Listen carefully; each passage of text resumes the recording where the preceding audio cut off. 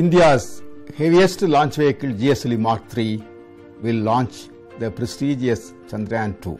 Chandrayaan 2 is the next leap in technology as we attempt to soft land close to south pole of moon. The soft landing is extremely complex and we will experience approximately 15 minutes of terror. Bharat के पहले चंद्र अभियान चंद्रयान एक की अभूतपूर्व सफलता के बाद अब इसरो जुलाई 2019 में G S L V mark three M one द्वारा चंद्रयान दो के प्रक्षेपण के लिए तैयार है। इसरो द्वारा बनाया गया तीन चरणों वाला ये अत्याधिक भारी प्रक्षेपण यान है।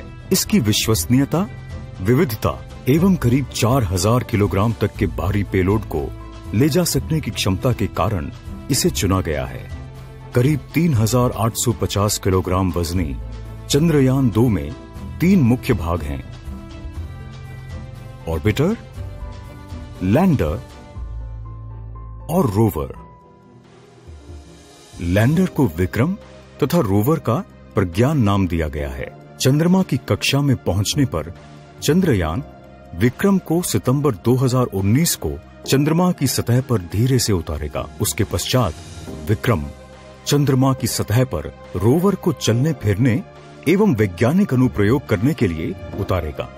रॉकेट 170 बाय अड़तीस से अधिक किलोमीटर की पृथ्वी की कक्षा में चंद्रयान दो को स्थापित कर देगा। इसके बाद कुछ दिनों में एक चरणबद्ध तरीके से पाँच बार मोटर फायरिंग से चंद्रयान को एक लाख पाँच हज़ार दो सौ बयालीस किलोमीटर की एपोजी वाले कक्षा में पहुँचाया जाएगा।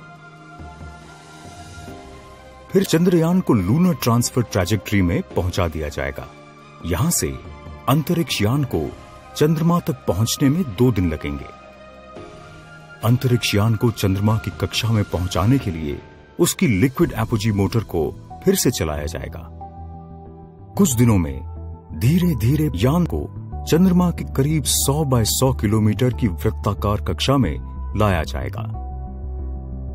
ऑर्बिटर इसी कक्षा में रहेगा, जबकि विक्रम इससे अलग हो जाएगा और डी बूस्टिंग के पश्चात चंद्रमा की 100 बाय 30 किलोमीटर की कक्षा में लाया जाएगा, जहाँ अगले चार दिनों तक वो चंद्रमा की परिक्रमा करेगा। चौथे दिन, ऑर्बिटर का O H R C payload दक्षिण ध्रुवीय क्षेत्र में सुरक्षित लैंडिंग की उपयुक्त जगह को तलाशने का काम शुरू कर देगा। ऑप्टिकल हाई रेजोल्यूशन कैमरा द्वारा लिए गए चित्रों को पृथ्वी पर प्रसारित करके प्रोसेस किया जाएगा। उसके पश्चात लैंडिंग साइट के मानचित्रों को विक्रम में अपलोड किया जाएगा और फिर नीचे उतरने की शुरुआत होगी। विक्रम पहले चंद्रमा की सतह से 100 मीटर की ऊंचाई पर उड़ेगा और फिर धीरे धीरे चंद्रमा की सतह की ओर बढ़ेगा।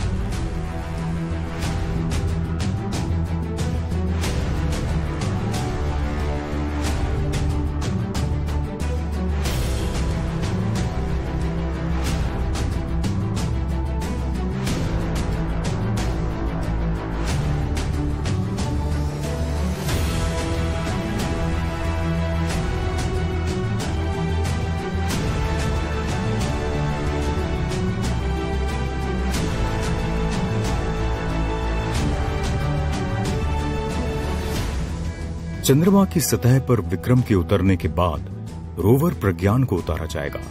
प्रज्ञान अपना संचार संपर्क स्थापित करके बाहर निकलेगा।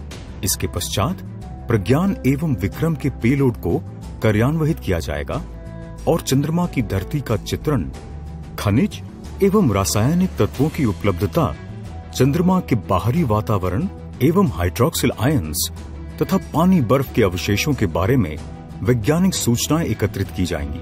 ऑर्बिटर का जीवन काल लगभग एक साल है और विक्रम और प्रज्ञान का जीवन काल चंद्रमा का एक लूनर डे है, जो कि पृथ्वी के लगभग चौदह दिनों के